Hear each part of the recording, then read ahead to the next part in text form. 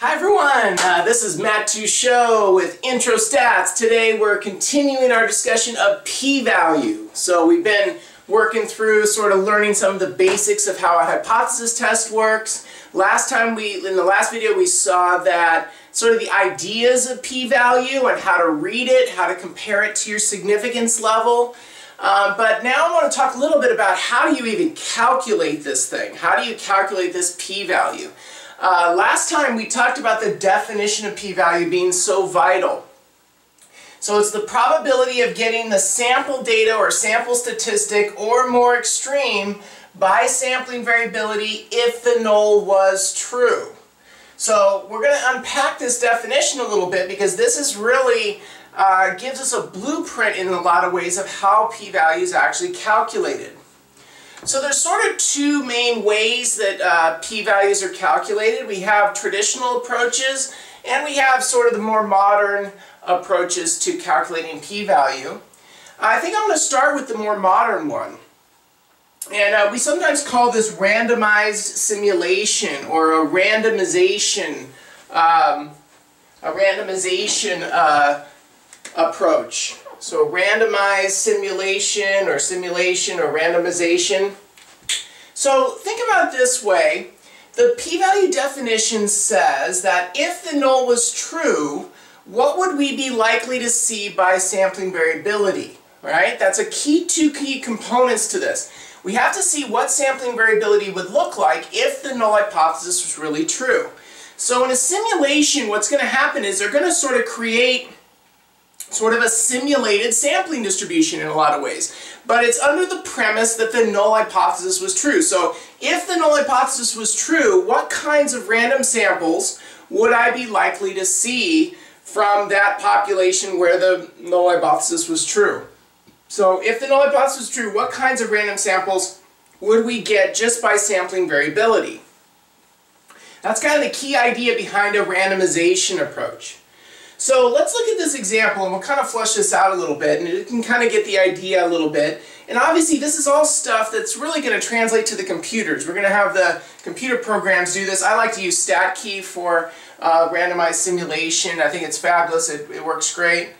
Um, so if we looked at a, let's suppose we had a null and alternative hypothesis. This is an example we looked at before. Uh, that normal body temperature is 98.6 degrees, but nowadays some people are thinking that maybe normal body temperature is actually less than 98.6 degrees Fahrenheit.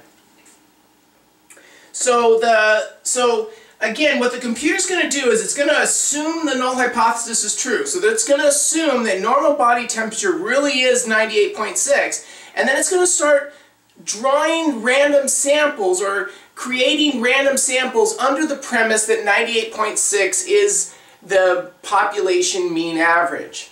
So we're assuming the population mean average is 98.6 degrees Fahrenheit, and then we're trying to see what kinds of random samples would I get. So the computer would be taking random samples, usually as uh, it'll be the same sample size as whatever your original real sample data would be. And then it would calculate the statistics, so whatever statistic you happen to be measuring. So we're dealing with the mean, right? So obviously the one we'd want to compare it to is the actual sample mean. So the real sample data, we got a sample mean, that's with the x bar, of 98.26, right? That's the sample data. So this is a summary of what really happened. Now again, what the computer's going to do is it's going to simulate random samples under the premise that 98.6 is the population mean. So notice you'll start to get sample mean. So it's going to take lots and lots of random samples. You're going to calculate tons and tons of random samples. I usually, when I do StatKey, I do thousands of these. And, and then you, um, so if you look and think of each of these dots here as a sample mean. So these are all sample means that were created by the computer and it's showing us what the sampling variability looks like for sample means. In a lot of ways, it's like say, it's like a simulated sampling distribution under the premise that the null hypothesis was true. Notice how the center of the simulation is 98.6 because that's what I was assuming in the null hypothesis. Right? Remember when we learned about sampling distributions before, the center is usually the population value. Well, in this case, the population value that you're assuming in the null hypothesis. So our population mean we're assuming in the null hypothesis is the center of the distribution. But then now I can see that even though the center is 98.6, I got simulated sample means that are, you know, anywhere from 98.9 all the way to 98.2. Okay, so lots of uh, sampling variability here. So in a sense, this graph is what we expect to see by sampling variability if the null hypothesis was true, right? Going back to this definition. Now, now that we have that, we can try to see, well, what's the probability of getting the sample data, sample statistic, or more extreme by sampling variability? Okay, so the sample statistic, they're talking about the real sample statistic. So what, what really happened? Our real sample data gave us a sample mean of 98.26 degrees Fahrenheit. That was the real one. So the thing about simulation is you'll have, you know, hundreds or thousands of simulated sample means, but there'll only be one real sample mean. Or you'll see thousands of simulated sample percentages, but there'll be only one real one. So no, don't lose track of which one was your real sample mean.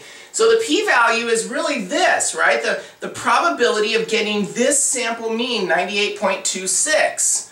But then it has this other part, or more extreme. So let's kind of look at this. So this is about 250 samples here. Um, dots on the board here. Each dot is representing a simulated sample mean from a, from a, a random sample uh, under the premise that the null hypothesis was true. Now, if we find 98.26, here's that cutoff, 98.26. Now, the computer's going to look, now, if you notice, this was a less than was our, our alternative hypothesis, so this would be a left-tailed test. That's really important in your calculations, why you need to know if it's a left tail or right tail or two-tailed. Remember, less than points to the left in our HA, so that's a left tail test. So now we're going to look at, are there any times, any simulated sample means that were either 98.26 or less than 98.26? And there actually was two. So I got two sample simulated samples where the sample mean um, dropped below 98.26. There might not be any that were exactly 98.26, but I had two that were lower. Because think of it this way. If 98.26 is significantly different than the population mean 98.6, then anything farther out would be even more significantly different. So I need to in incorporate any simulated samples that disagree with the null hypothesis even more than my original sample data does. So it's not just the cutoff point, it's also anything else in the tail. And that's what they're referring to here of or more extreme in the definition of p-value. So if I had 250 total random samples, simulated samples, and two, only two of them were 98.26 or less, right, the sample, the sample uh, mean or less, then my p-value would be approximately 2 out of 250 or 0.008. That would be my simulated p-value. Okay, so um, probably this is the more most direct way to find the p-value if you're talking about really getting at the definition of this directly. Okay, let's try to look at another one here. Now we're looking at a, um, a, um, a, a, proportion uh, simulation. The null hypothesis was pi equals 0.5 and the alternative was pi or p is uh, not equal to 0.5. So um, this would be a two-tailed test, right? We, we talked about that before. This would be a two-tailed test because it's not equal. So that's going to be very important in your p-value calculation. You have to consider both tails now, not just the right tail, not just the left tail, but two, both tails. Now it's really important. What was my real sample data? My real sample data gave a p-hat, a sample proportion of 0.61. Now what the computer's doing, going to do is they're going to create lots and lots of random samples under the premise that the null hypothesis is true. So the computer assumes the null hypothesis is true, and then it creates lots of random samples based on that premise that the null hypothesis is true. And now what you get is, again, like this simulated sampling distribution. Notice that the center of the sampling distribution is pretty close to 0.5. That's because that's what the computer is assuming is true when it created all these samples. Now each dot up here, they, they basically calculated a, a random sample and then they calculated the p-hat. They calculated the sample proportion for that random sample. So each one of these dots is a simulated sample proportion. Think of it like a p-hat. So I got 250 p-hats on the board here that the computer created. But there's only one real one. What really happened? That would be this one. The p-hat that really happened was 0.61. And that's where, that's where the p-value is going to come into play. Because the p-value wants to know what's the probability of getting this real sample data, this real sample p-hat, or more extreme. Again, this is sampling, this is a graph of sampling variability if the null hypothesis was true. So now I just got to think about, okay, well, where is 0.61 uh, on this graph?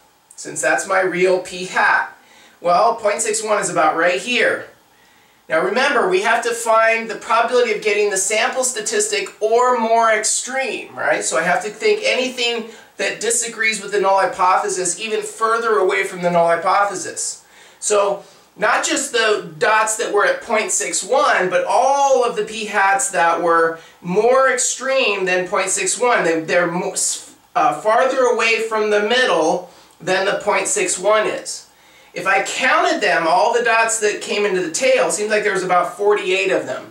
So 48 divided by 250 would be 0.192. So about 48 dots here. Now, remember, this was a if this was a right-tailed test, this 0.192 would actually be my p-value. But it's not. It's a two-tailed test. That means I have to incorporate also any simulations in the other tail that are also equally far away from the null hypothesis. In other words, from the center of the distribution. So if I look at all the, the um, uh, simulated p-hats on the in the left tail that are just as far away and counted them, I'd also get about 48 out of 250 or 0.192. So how do I get my p-value now? Well, you have to basically incorporate all of them.